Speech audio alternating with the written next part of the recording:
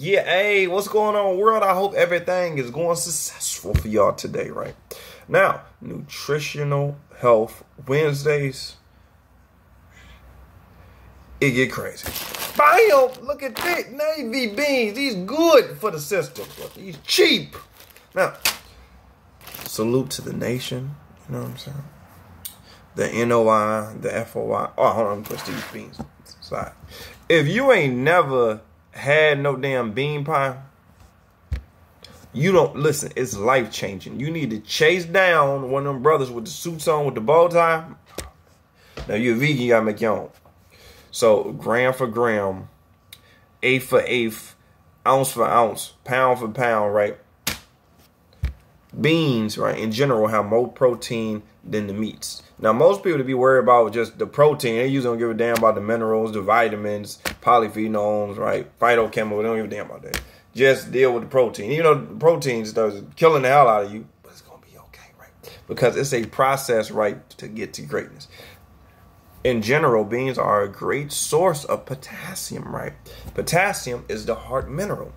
Over 90% of damn people are not getting their daily recommended amount of potassium the number one cause of damn death in the world, right, is heart disease, right? Damn, since I dropped I dropped this video, one person done died from them heart disease, which high blood pressure is a form of, then about three people done had a heart attack or a stroke.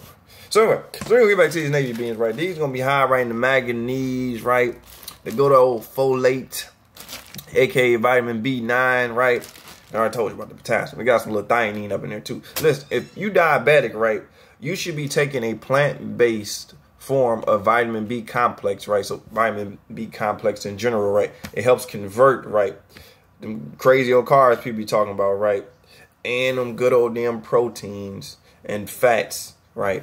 To energy, right? So anyway, and if you diabetic status, all your vitamin B complex damn near just depleted in general. So but vitamin B1 thiamine is really going to help, right, with your insulin levels, right, your blood sugar levels, right. So the manganese, that's going to be great for your nervous system, right? So with folate and people who have like MS, right, multiple sclerosis, right, uh, normally have a, a, very high deficiency, right, of folate, um, not folic acid. That's like the old artificial uh, version that they be making all in laboratories and stuff like so also it's going to be great for your bone structure, right? And helping your body produce glutathione.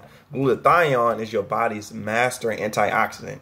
You know, I be talking about get the antioxidants from plants, but your body like, oh, these damn people gonna listen, so end up making his damn own or whatever. But the more antioxidants that you get in your system, right, the healthier you're gonna be, right?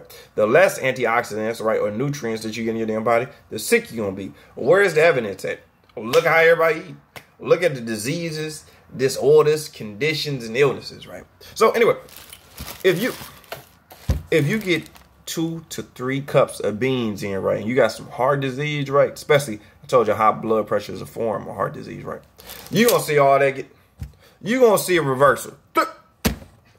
Three damn cups, try I say right, of beans every day. Get them in, baby. Navy bean. It's cheap.